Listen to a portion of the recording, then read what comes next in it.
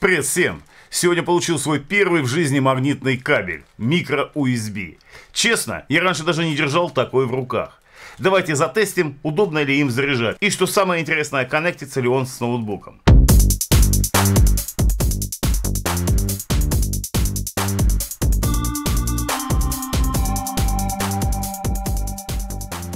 Приобрел я не один кабель microUSB, а два и разных цветов. Плюс к этому я взял еще два магнитных адаптера на microUSB. Хотя отдельно можно прикупить магнитные адаптеры на microUSB Type-C или на iOS. Но устройств с такими разъемами у меня нет. Кабеля должны быть по метру, один черный, а другой золотой. Ну так оно и есть. Я думаю, почему их тяжело отсоединить с друг другом. Они примагнитились друг к другу. Ну, комплектация, значит, все четко. Давайте затестим. Ну, давайте черненький. Сейчас я вам покажу поближе. Как видите, здесь 4 пина. Здесь вот 4 пина.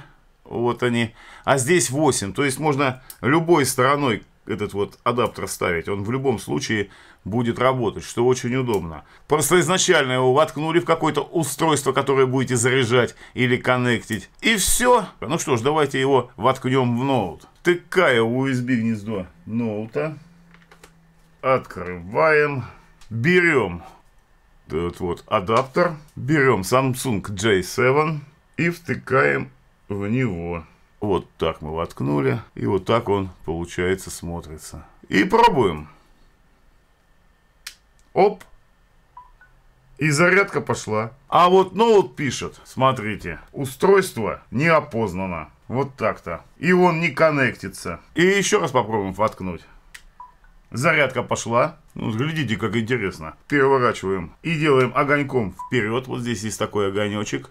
Вот он на нем то устройство коннектится. Да, и вот они, пожалуйста, папки смартфона. Так что все отлично, но единственное, почему-то только одной стороной, так что будьте внимательны. Возьмем, значит, еще один адаптер, уже из тех дополнительных. Так, и поставим его в планшет Samsung CMT355. Вот. А если у вас, конечно, есть устройство с Type-C или iOS, то, соответственно, такие же адаптеры вы можете воткнуть, только надо другие приобрести. Вот, пожалуйста. Смотрим.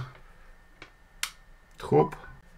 Разрешить доступ. Я попробовал, и планшет тоже синхронизируется, но тоже одной стороной. Стороной, где горит вот этот зеленый светодиод. Другой стороной только заряжает. Так, ну и еще, что мы можем еще прикинуть?